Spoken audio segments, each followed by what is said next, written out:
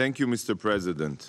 شكرا سيدي الرئيس سيدي الرئيس مؤخرا شهد العالم حروبا غاشمة وإراقة الدماء منذ سنتين خرق السلام في أوروبا للمرة الأولى منذ الحرب العالمية الثانية اجتاحت روسيا أوكرانيا وشعر العالم أجمع أثر ذلك فأسعار الطاقة والغذاء قد ارتفعت وأثرت على البلدان في كل مكان وتأثرت سلاسل الإمدادات وبات شبح الحرب حقيقيا ومخيفا. ولكن الصادم هو أنه لم يتم التذرع بالمادة 99 من الميثاق.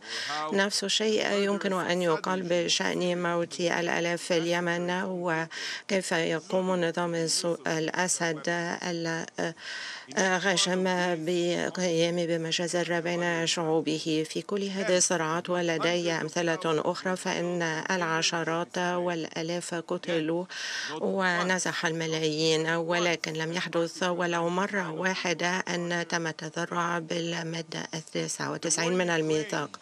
هل أن الحرب في أوكرانيا ليست تهديدا للسلم والأمن الدوليين؟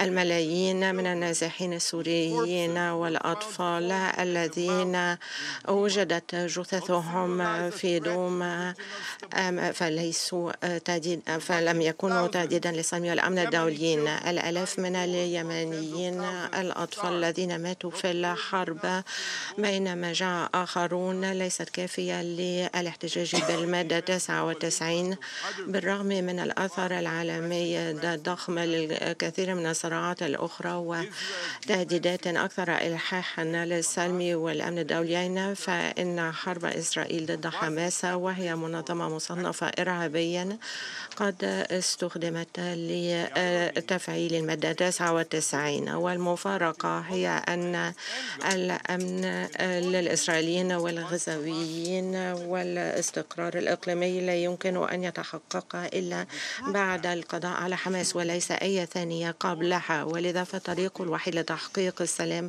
هو دعم مهمة إسرائيل وليس دعوة لوقف إطلاق النار. ثانيا أيها الزملاء الأعزاء لأولئك منكم الذين يدعون لوقف إطلاق النار من الضروري أن تتذكروا الحقائق.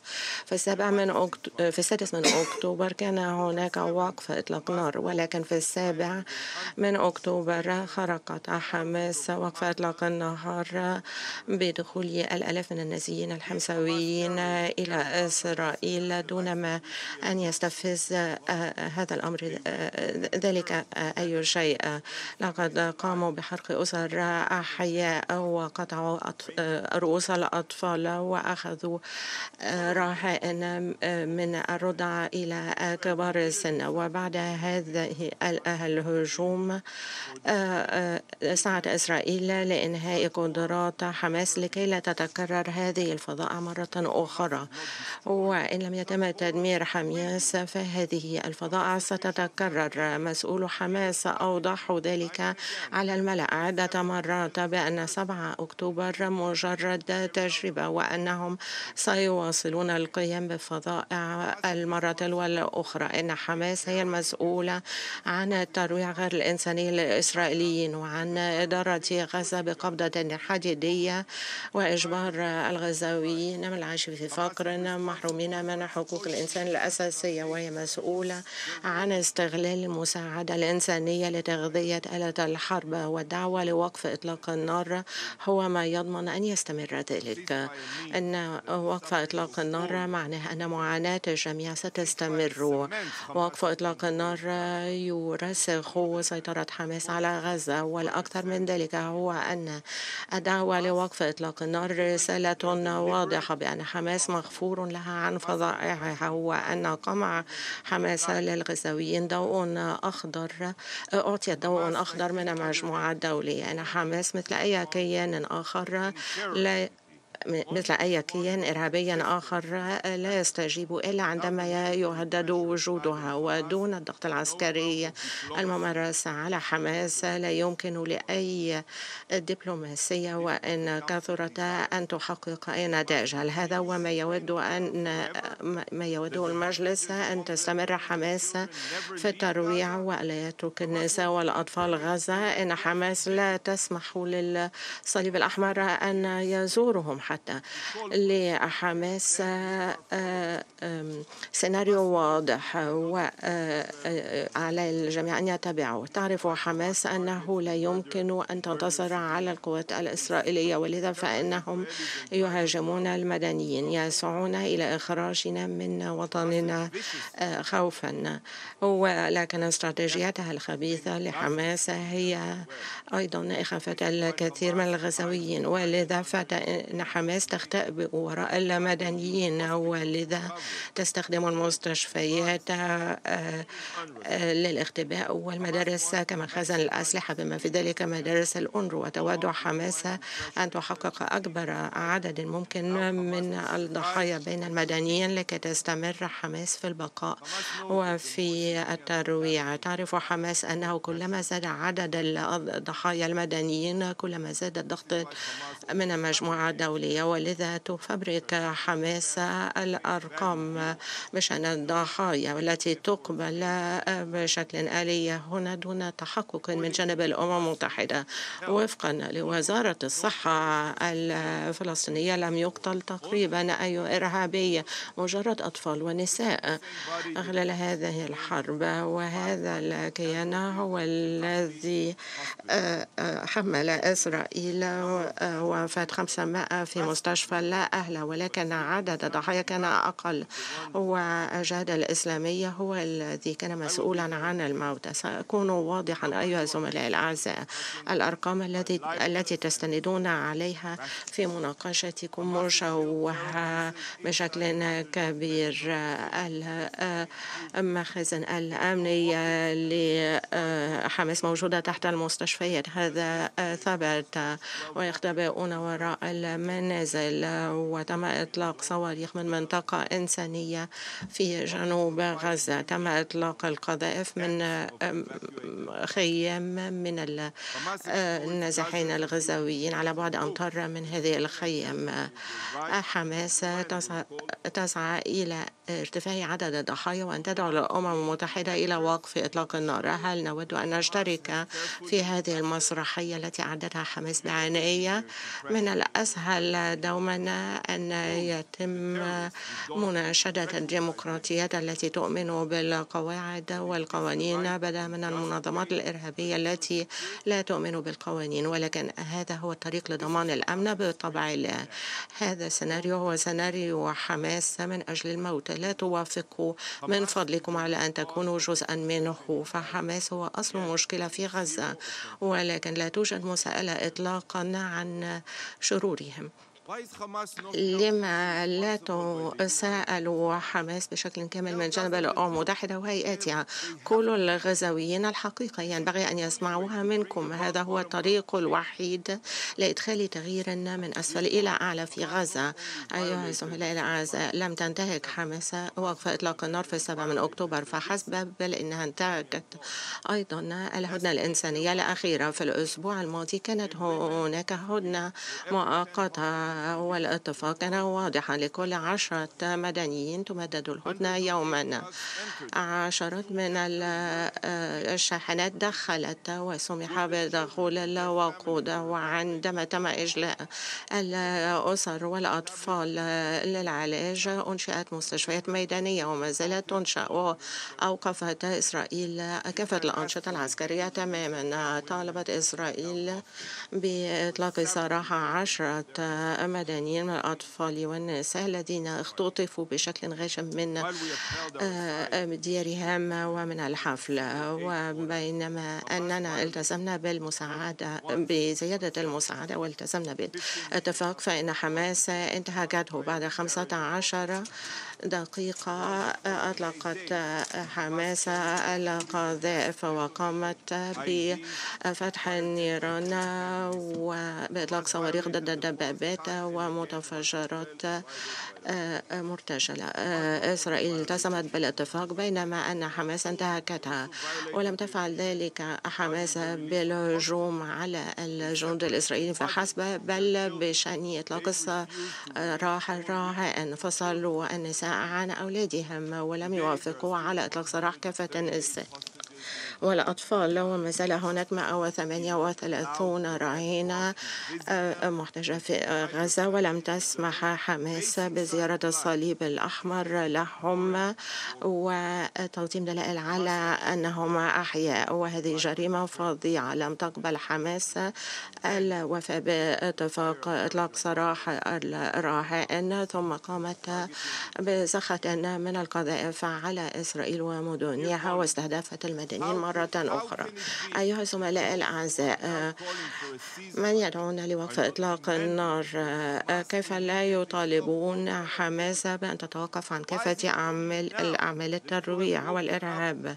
لما استيقظتم الآن وليس عندما خرقت حماس الهدنة السابقة. إن أردتم وقف إطلاق النار فطالبوا بذلك حماس التي اخترقت الهدنتين الماضيتين لما لا يوجه هذا القرار ليحيى السنوار وإسماعيل هنية أفلا تعرفون من المسؤول عن إنهاء وقف إطلاق النار السابق وبدء القتال من جديد أي أعضاء المجلس الموقرين؟ إن حماس وحدها هي المسؤولة عن الوضع الإنساني في الميدان وينبغي أن يسألوا بشكل كامل من جانب المجلس. حماس ملتزمة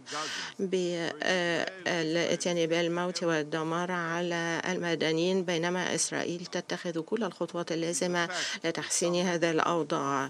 أن بعض أعضاء المجلس والأمين العام لا يقبلون هذه الحقيقة وهاكم بعض الحقائق والأرقام الأخرى. منذ السابع من أكتوبر ومنذ بداية الحرب فإن أكثر من 3500 شاحنة بالإمدادات الإنسانية دخلت من خلال رفح. أكثر من 17 مليون طن بالخيام والأدوية والمواد الإنسانية والغذاء دخلت غزة. وحتى أثناء القتال الشديد وافقت إسرائيل على زيادة كم الوقود الذي يدخل غزة. 65 شاحنة تم تسهيل دخولها بالأمس. وكان هذا الرقم ليكون أكبر لو كانت قدرة الأمم المتحدة على استقبال المزيد من الشاحنات موجودة. هناك المئات من الشاحنات المتعطلة التي تنتظر دخول غزة والسبب الوحيد لعدم دخولها هو المشاكل السوقية للمنظمات الدولية.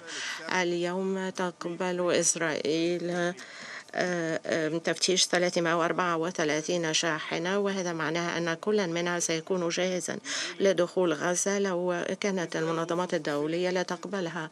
وقد يسرت إسرائيل أيضا بناء مستشفيين ميدانيين واحد تديره المملكة العربية السعودية والآخر الإمارات العربية المتحدة. فرنسا وفرت مستشفى عائما في العريش وإيطاليا ستتبع ذلك المملكة العربية السعودية أعطت 21 عربة إسعاف والصليب الأحمر ومصر والمحكمة العدل الدولية وتركيا وإيطاليا ستدير مستشفيات أخرى. 1553 مصابا غادر بمصاحبة 378 من أسرتهم. كل ذلك سمحت به إسرائيل وسهلته كما أن إسرائيل ترحب بكل مساعدة إنسانية لغزة من كل الدول المستعدة للمساعدة. ولكن أيها الزملاء لا تصل كل هذه المساعدة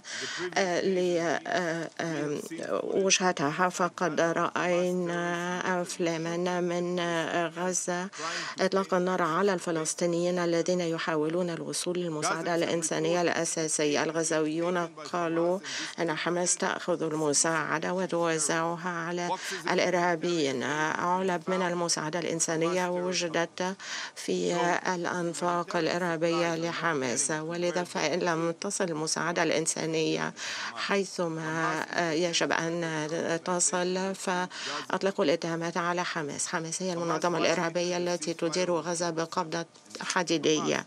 لقد خرقت وقف إطلاق النار في السابع من أكتوبر وهي التي خرقت الهدنة الإنسانية. بالنسبة لحماس القانون الإنساني الدولي لا أهمية له. عندما أجلس في هذا الاجتماع أشعر أن حماس ليست موجودة إطلاقا. الأصابع توجه دوما لإسرائيل وإسرائيل وحدها. هذا تشويه للحقيقة وهذا غير مقبول. ينبغي أن تساءل حماس. السيد الرئيس اليوم هو اليوم الأول لعيد النور لإسرائيل هانوكا وهو العيد الذي يحتفل به يحتفل به اليهود إحياء لذكرى محاولة القضاء علينا. حرمان إيماننا من عيشنا في آه، الأرض المعرفية قبل قرنين من آه، قبل الميلاد قبل محمد وقبل يسوع. إننا نجد أنفسنا مرة أخرى يحيط بنا الظلام بقوة تسعى لتدميرنا ولشيطنتنا ولإلغاء شرعيتنا التقاليد اليهودية تعلمنا أن بصيصا من الضوء يمكنه أن يكسر الظلام ويمكن لكل منكم أن يستخدم النور لكشف الحقائق وإزالة الظلام. آمل أن نرى معجزة حنوك جديدة في الأمم المتحدة وأن الرب سبحانه وتعالى سيسمح لنا بالانتصار في هذا المجلس وأننا سنرى الانتصار على حماس عما قريب بحيث يتمكن الإسرائيليون والغزاويون من العيش في حرية بمنع عن الخوف والعنف. ستواصل إسرائيل مهمتها القضاء على القدرات الإرهابية لحماس وعودة كافة الرهائن وسنتم هذه المهمة مع دعم دعم كل مبادرة إنسانية. كل مبادرة إنسانية لتحسين الأوضاع من أجل الغزاويين من يسعى فعلا إلى السلام والأمن في المنطقة ينبغي أن يفهم أن الطريق الوحيد لتحقيقه هو تدمير حماس وليس بالدعوة إلى وقف إطلاق النار مما يمدد الحرب والمعاناة لدى الجميع. لا يوجد خيار آخر. شكرا سيدي الرئيس.